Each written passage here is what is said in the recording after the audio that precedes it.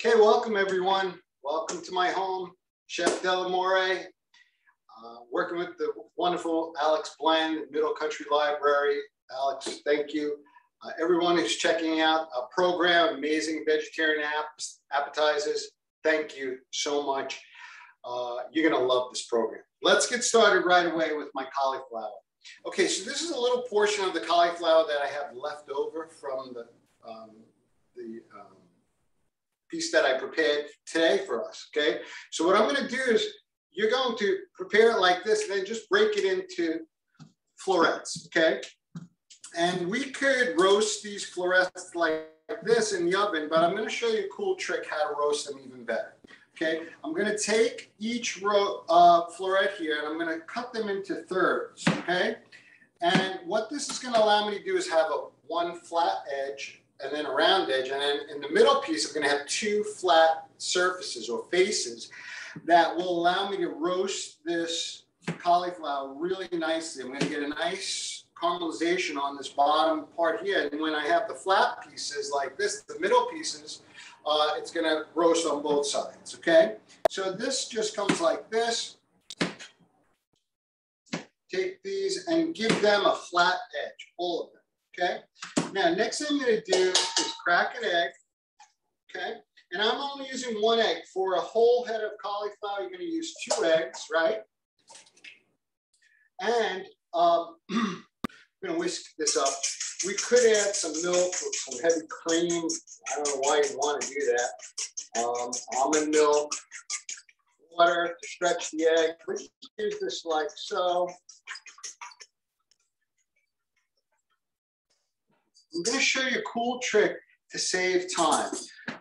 This is going to go in my egg wash and the whole thing goes in all at once. So we're going to egg and bread these cauliflower and then roast them. But I'm going to show you a cool way to bread them in just about 30 seconds. Before we do that though, um, I need to coat these with some egg, with my egg wash. And then I'm going to add some delicious spices. I like that basil, dry basil, dry oregano. And these are in the instructions. But what is not is this turmeric. And I just started adding this you notice I'm adding it to my wet mix here. And this is gonna allow the turmeric to really penetrate into the cauliflower and give it a really nice flavor. And, and a, this yellow color is gonna come through, believe it or not, through uh, without breadcrumbs on the outside. Okay. Little fresh cracked black pepper. Actually, I like to add a lot. You could add some uh, red pepper flakes if you'd like to make it spicy. And watch this cool trick, guys. Gonna take a plastic container, high wall plastic container, just enough breadcrumbs to coat the bottom of the pan the bottom of this plastic bowl, do you see? And then these are going right, look at these cauliflower, okay? Just so much going on here, so much flavor. These are gonna go right in my breadcrumbs for a quick toss. Now watch this. and the rest of this egg is gonna stay on the side because I don't wanna clump up my breadcrumbs. And in exactly 20 seconds, this cauliflower is done. Just by shaking the plastic container with the high wall, it allows the breadcrumbs to bounce off the sides and cover the top. So these are done. Look at this, literally done. To bake these, I'm gonna use, you're gonna use your favorite baking sheet. You're gonna use a small nipple uh, opening for your oil and give a nice a thin bead of oil on your tray, and then place these on the tray, and they're gonna go into oven 375. If you're in a rush, 400.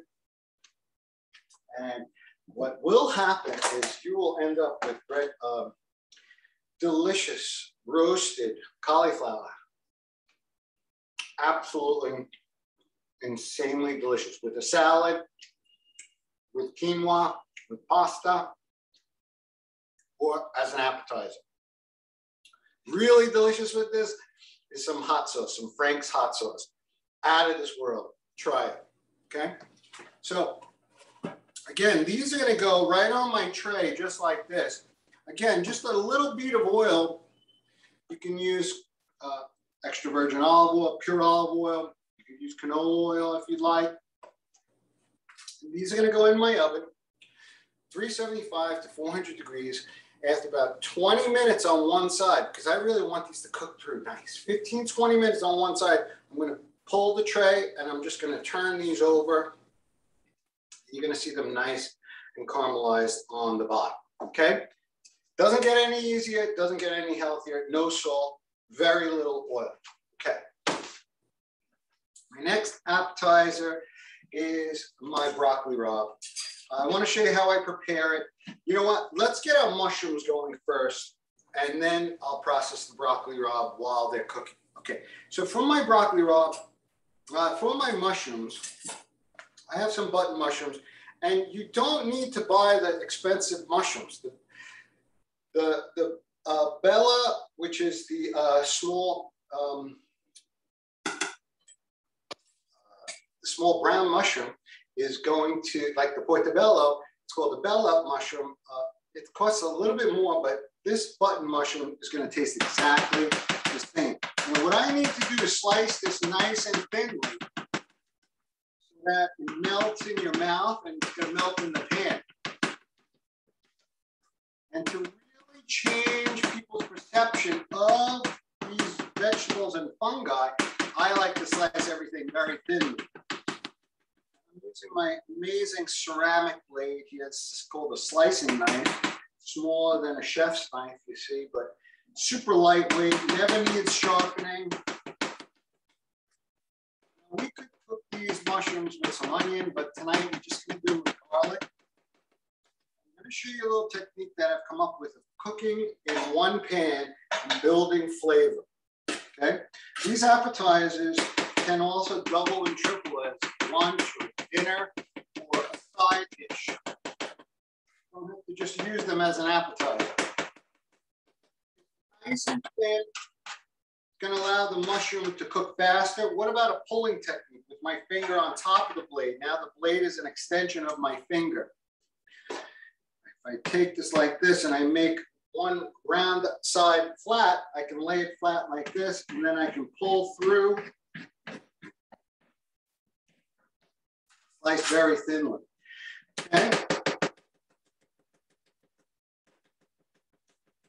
Slicing the mushroom here is really important to really maximize the mouth feel as it's going to just melt um, in your mouth, in your palate. It's going to pick up all the flavor, of the garlic, and the sun-dried tomato I'm going to add, and it's going to be wonderfully soft and silky combined with this triple toasted bruschetta, okay, that we're gonna use here.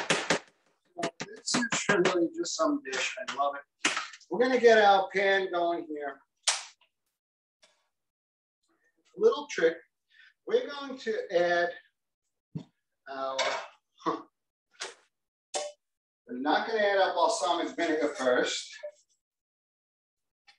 Okay, we're gonna add our olive oil first just enough to coat the bottom of the pan. Let's get our garlic.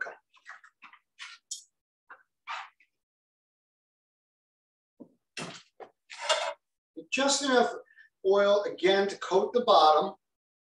We're not gonna fry these mushrooms, we're just gonna saute them in garlic and oil.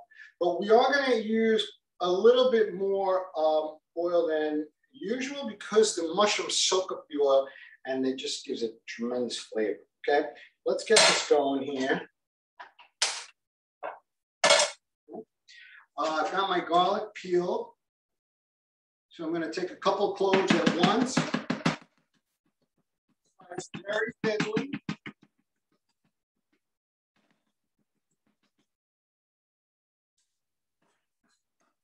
Going right in my pan. I want, I want a lot of garlic to flavor this onion, to flavor this uh, mushroom. And what we're gonna do is we're gonna flavor this oil with our garlic. What about some sun-dried tomatoes? Okay, this is optional. I love to cook sun-dried with the um, garlic, with the mushrooms. It adds a nice sweetness, and I think you'll enjoy it as well. Okay, but it is optional. If you want to add fresh tomatoes to this, you can do that, but you'd add those at the very end. Okay. I make sure the garlic's not burning. I watch it. I use my ears. I use my sense of smell, sight. And if it's burning at all, I take it off the heat and just do this. And this is a great little trick to learn, okay? So you're infusing the oil with the flavor of the sun-dried and the garlic, okay, without it burning. Okay, this uh, is ready to rock, so I'm going to introduce these mushrooms here like so.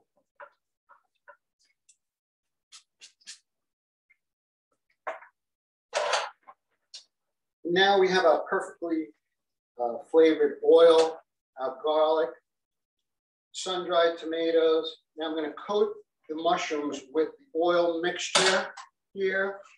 We're going to add a little dry uh, basil some dry oregano. Add some balsamic vinegar to this. You could add some cumin, dry cumin if we like, if you like. Okay. Okay.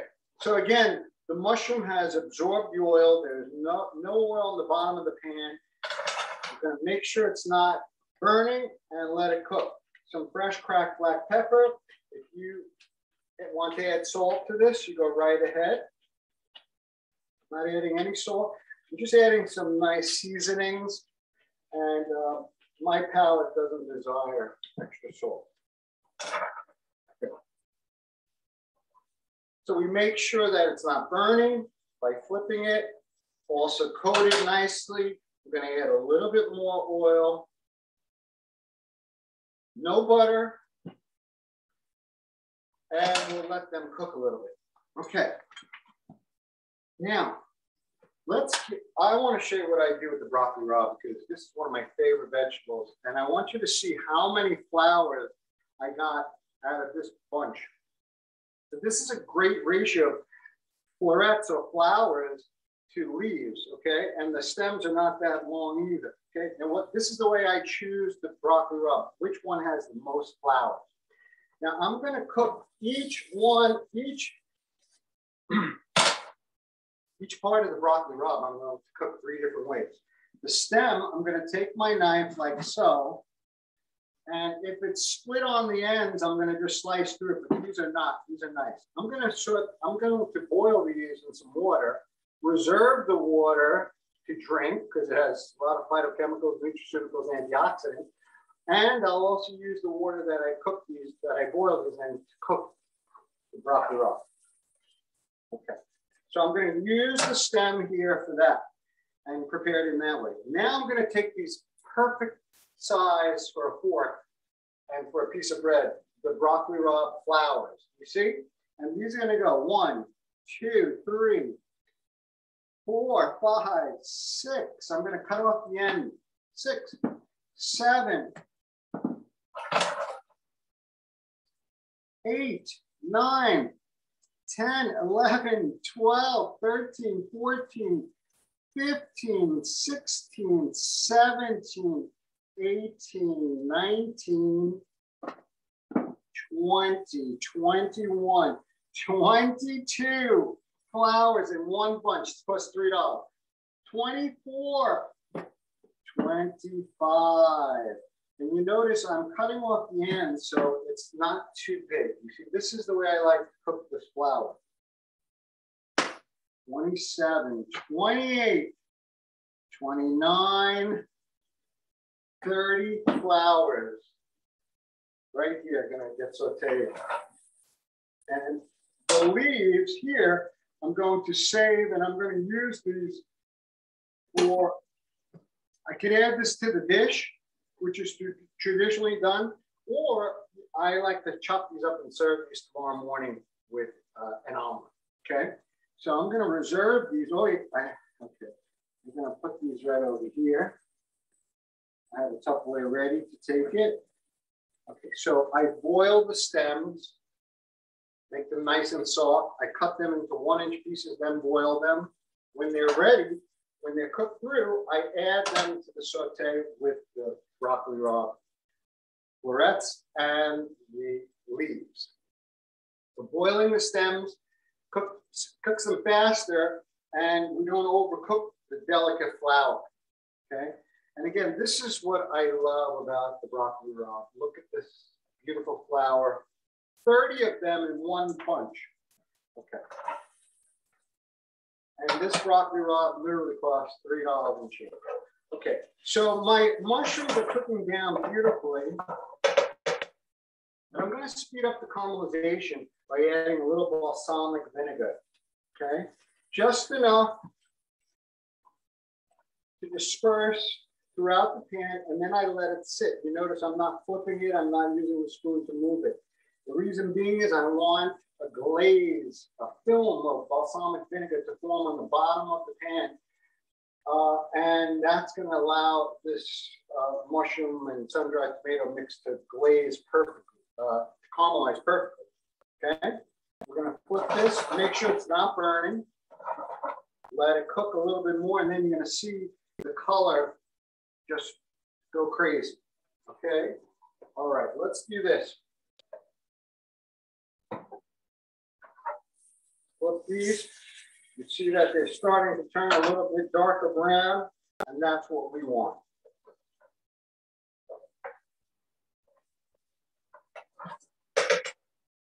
Okay. Um, let's do this next. I'm going to add uh, well, let's finish cooking this down. And then I'm going to show you what I like to do with the broccoli.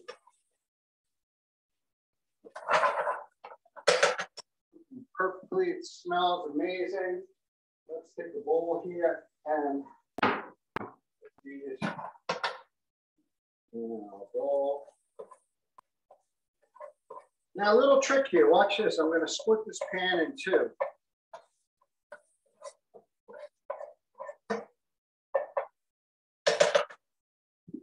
Letting the mushrooms continue to cook as I prepare some more garlic for my broccoli rabe.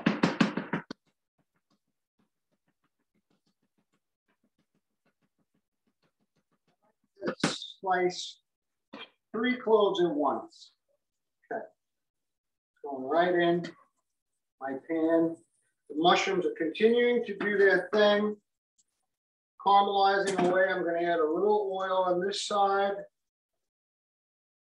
for my broccoli rabe. Now I'm going to introduce that right here, right now. And what I've done is I've turned my pan into two pans. I'm letting the mushrooms continue to cook, soften and caramelize further.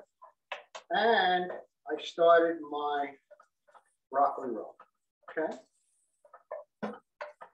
And my garlic. Now, these are done, so I'm gonna take these out. And I'm going to use the pan to finish my broccoli. Now, vegetarians love these recipes because there's so much flavor. Uh, remember, these uh, pairings of garlic and sun-dried tomato gives us big flavor.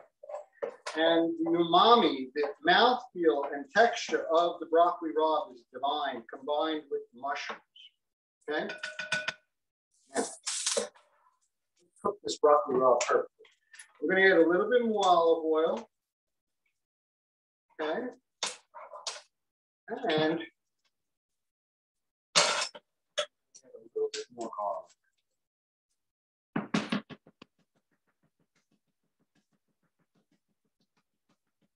to add a little bit of fresh garlic while it's cooking. It's going to give us a little bit more of that fresh garlic flavor. Now, I don't add any salt to this. Instead, I just add some fresh cracked black pepper. Which really brings big flavor to the broccoli. Add a little bit more oil here.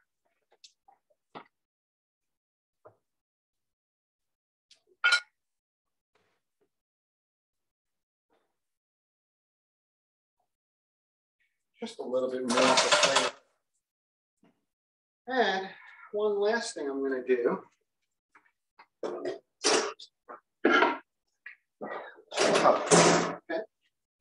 What we're going to do here is we're going to add a little bit of water to the bottom of this pan. I'm going to show you a cool trick. To prevent the garlic from burning, we add a little bit of water and then cover. Okay, and what we're going to do here is now continue to steam the broccoli rabe. And the, again, the water is providing the moisture for the steaming. It's also preventing the garlic and uh, broccoli rabe on the bottom from burning. And it's gonna also produce a verdant green broccoli rabe. You're gonna see it's bright green after this step with the steaming, okay? I can turn up my uh, gas a little bit. I don't have to worry about it burning because of that water. I'm gonna check on it. See the color, bright green. My God, oh man, does it smell good. And the water is gonna cook off completely and we're gonna end up with perfectly cooked, soft stems, but not overdone florets, flowers, which are very sensitive. So that's the trick with the broccoli rabe. Uh, some people are, don't like broccoli rabe because they say it's too bitter. Well, it can be prepared incorrectly and it can be bitter. With the proper amount of oil, garlic, and fresh cracked black pepper, uh, and it cooked nice and through all the way, it comes out perfect every time. And it's not bitter. Okay, so this is how I like to plate this. I'm gonna take my triple toasted sesame seeded Italian bread. So extra crunchy here, okay? And you can do this ahead of time. You can have a nice appetizer tray for your party or your family, okay? So I'm gonna take my mushroom. It's gonna go right on one of my breads with my sun-dried tomato mix. Oh man, this is gonna be so good. Okay, how I didn't eat all of this before this presentation because I it was just so it looked so delicious. I did of course try a couple and they were absolutely delicious. These can be served. Now these are absolutely delectable with the bread, without the bread. Again, with some hot sauce or sriracha. Uh, really, this is an amazing chicken substitute. If you've, if you've never tried the egg and bread and baked cauliflower, you're in for a surprise. Okay, let's check. Look at the color that this steaming produces. Look at the color. And this broccoli rabe is holding together perfectly. The garlic is not burnt. We have maximum flavor. And we're going to plate this up in just a minute. Let me, let me just take one for our plating. Oh my God. And you can tell when you put your fork through the stem, I mean, these are so soft. And you see that the flower fits perfectly on the bread when I cut it to size. Another one here like so.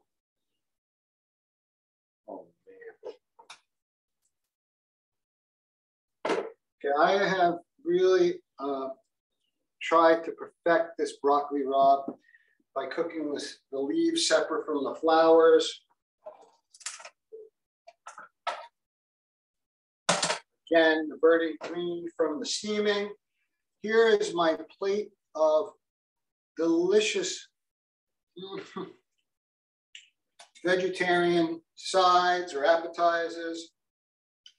My uh, baked or roasted cauliflower with a little turmeric in addition to the uh, basil, dry basil, dry oregano, fresh cracked black pepper.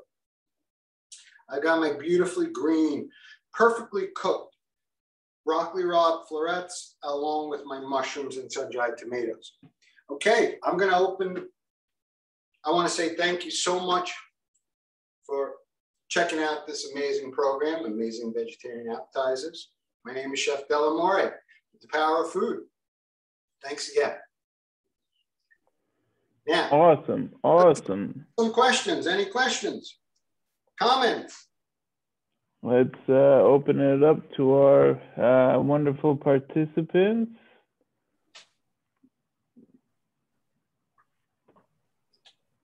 Anyone?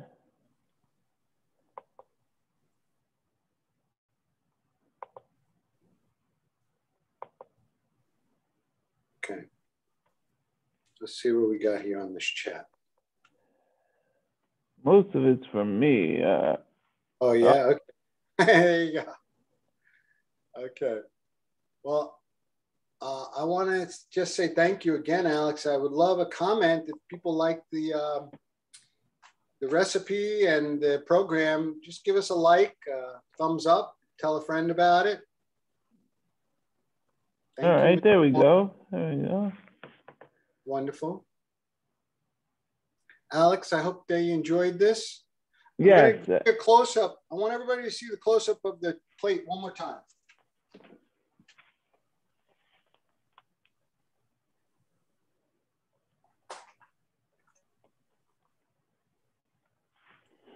Look at how's that. that. How's that look, Alex? Looks good. I, I wish that's what I was going home to.